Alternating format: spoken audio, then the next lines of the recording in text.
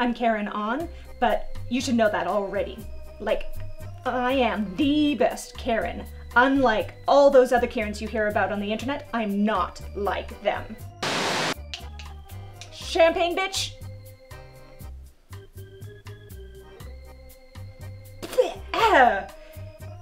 You call this champagne? What am I looking for in the perfect man? Um, well, he's gotta be young. He's gotta be hot. He's gotta be fit. He's gotta take directions well. And he can't be my husband. He's gotta have a thick, huge, stacked wallet. And be willing to spend it on me. The whole load. Eh. Busy.